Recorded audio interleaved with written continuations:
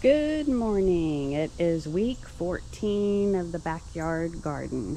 Um, today, decisions are going to be made on what we keep, what we take down. We have already taken down a lot, but I think we're going to take down a good bit.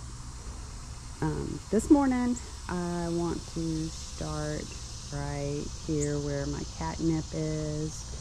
And this dog fennel has just kind of popped up right underneath my hummingbird feeder.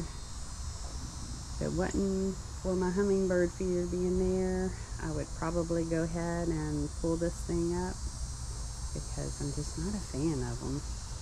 Anyway, the worms are getting a hold of my catnip and my flowers. Um, so I'm going to have to probably trim them back pretty hard what I wanted to show you. Still got these strawberry runners in water and looks like I might be able to plant some of those. I have already planted some and I've already made a mistake on some of them so I've kind of replanted them.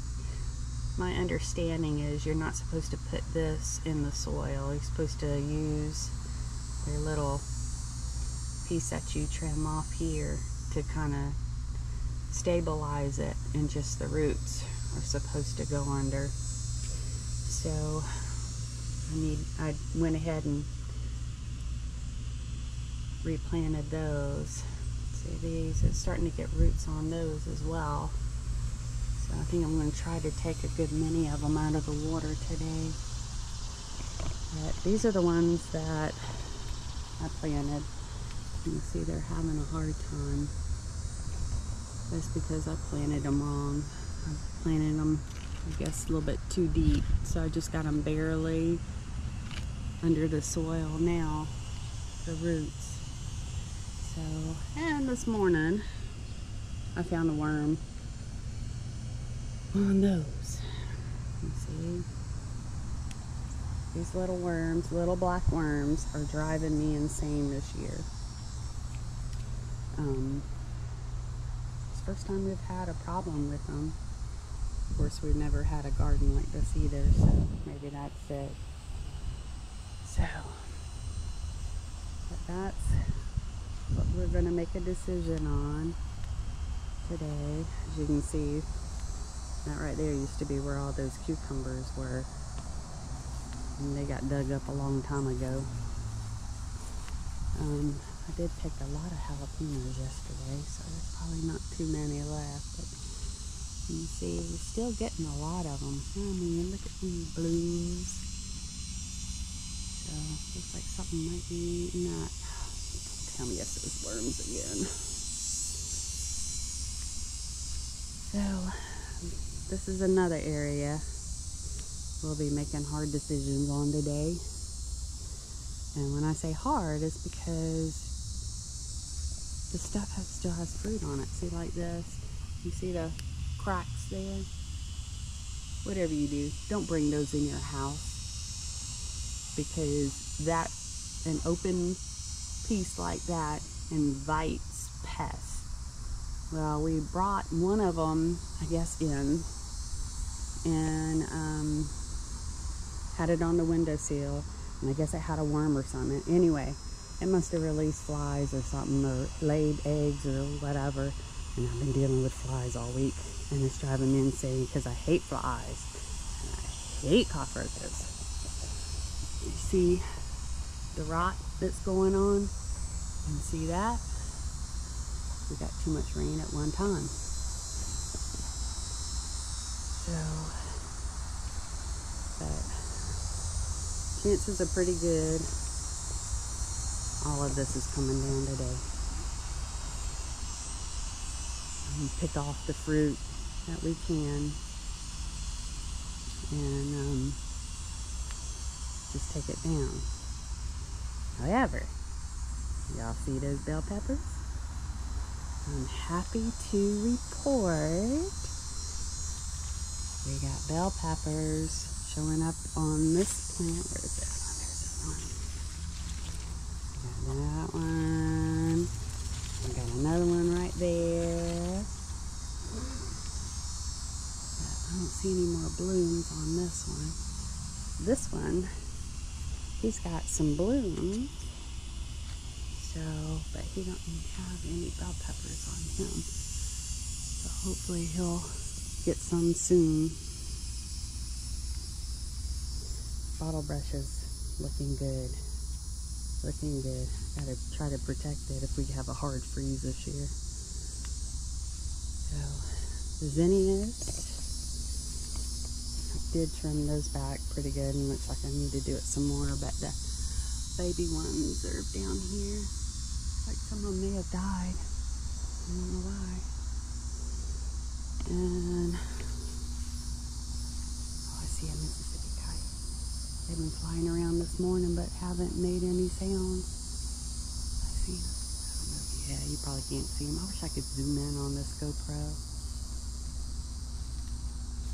Anyway, all of this fennel is probably going to come up. I've trimmed back a lot of it.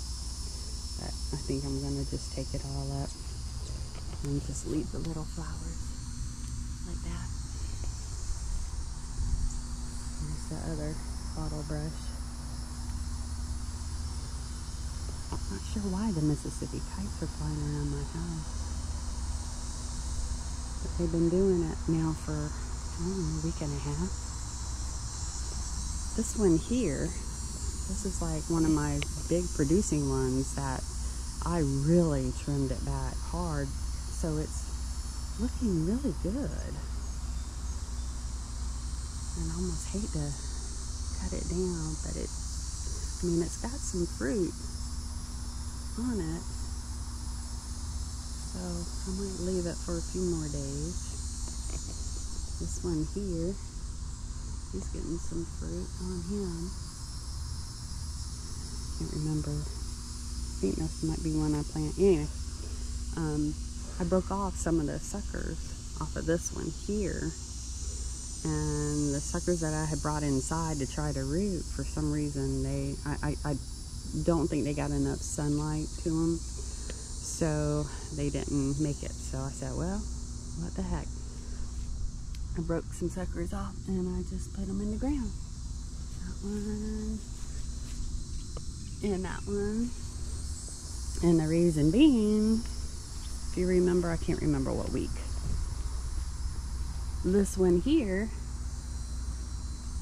is from one of those suckers that I just put in the ground and see he's starting to bear fruit. And we got blooms. Oh, and there's one right there, a little sucker. Break him off. And that's one right there too. We'll break him off. I'm not gonna plant those though. And did this one too. I haven't watered them yet. I just kind of stuck them in the ground. But the soil is warm. We just got rain again. So, but I think this one here, you see all those runoffs? I got to figure out how not to have those runoffs. So, but we've tied them up that way. And he's got a lot of fruit on it that way. But on this side, this is the one I trimmed hard. You see it's got little leaves growing back. But it's got a lot of fruit on it. So it's like, okay, what do we do? Do we leave it a little longer and let the fruit ripen? And this one, he's looking good. He's got some blooms on him. Yeah. A little bit of a split on it, but other than that, the other ones are looking good. So this one, he'll probably go. Let's see. He'll go. He'll probably go. Cucumbers. We had the shade cloth hoping to save it, I think we're gonna have to let him go. And he's got some cucumbers on it. I had, oh, there's one here. Make sure it doesn't have any holes in it. There was a couple of others that were about that size that all of a sudden got wormholes in it. So, lavender. Looks like that one's rotten. And I've got balloons. Oh, is rotten. Oh, I see a wormhole in him. You can see that. Let's see. Yep, he's got a wormhole. Well, I guess they're coming down too. I'm just over it. Um, one thing I want, oh, show you the zinnias over here. They're looking good. And I just dropped the seeds down from some of the um, buds. And I've been taking the buds from these fancy zinnias. I've got them drying out because I want more of those. I like those. And see, this is why I keep the dog fennel. I just love those flowers and I want it for the bees and the hummingbirds and stuff. One thing I did want to show you, I forgot to show you when I was over here. When I trimmed this one back, there was some new growth coming on it. And it's this one here. But see how it's the new growth is coming along really good. So we'll just have to make some hard decisions today. And if we do, I'll stick it on to the end of this one. I just hate to do it. I like all my tomatoes. I have now put up, let's see, today's Monday. On Friday, or was it Thursday? No, Thursday. I put up 10, 10 more jars. So I've got enough tomatoes to, and different types. I did diced tomatoes. I did um, tomato sauce. And I did a recipe where you do the cherry tomatoes and you put like four or five holes in them and put water in it and then you could put like garlic, basil and oregano in it. And supposedly they, they, they taste really good when they come out when you know when you open the jar. So we will see. I've never done it. Of course I've never canned before. This is my first year canning so I'm just hoping everything turned out. All the jars popped so that's a positive. So we'll see. All right well we'll come back once we make these hard decisions All right, we will take out a little bit of vegetables. The um, of what here is still bearing a little bit, but it's either got bugs or worms or disease, and so we're going to start taking things out. We picked off all the um, ones that are ripe or near ripe, and we're going to take them inside and let them ripen. So here we go.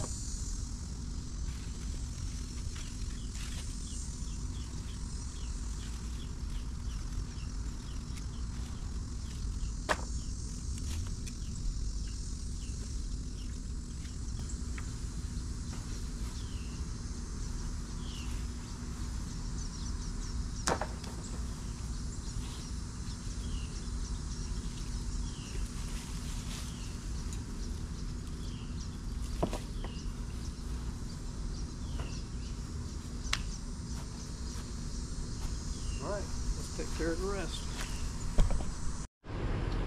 Well, after the video, uh, Greg decided to take down most of the tomato bushes. So what we did was we went ahead and just picked all the ones that were still looking good and I'll bring them inside and let them ripen. Um, a lot of cherry tomatoes in there. A lot of the small ones we left on the bush and pulled them up. I'll show you what it looks like now. Now when I come out, you see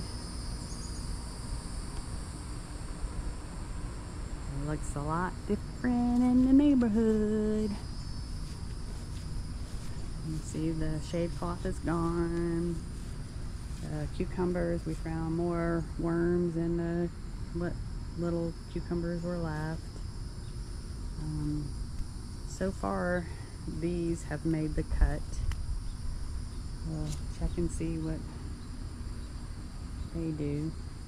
And like I say, this is the one. Oh, he's kind of broke. Uh, I guess when cutting the things down, it broke it. That's that one that was just a knuckle that I had just put in the ground. That one, I think that one's the same thing. I'm not sure. I can't remember. Over here, you can see all of these are gone.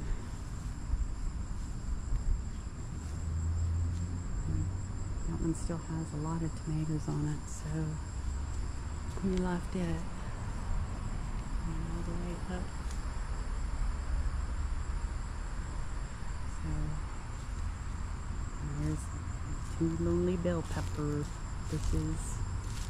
And these, you can see they're still loaded with cherry tomatoes. So, but that's all we got left. So now I'm still trying to figure out what I want to plant where for the late summer slash fall garden. I'm going to start some things probably in a couple weeks. And then in September, we'll start more of the fall slash winter type garden. So, well, thanks for watching this week. It looks a little different.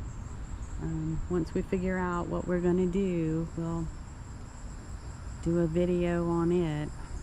So all these leaves down here, I'm going to till them under the dirt. So try to build up the soil on it and see how it goes. Got a storm coming this way. So hopefully get a little bit of rain to water these because I didn't water them today. So y'all have a good rest of the week and we'll see you next week.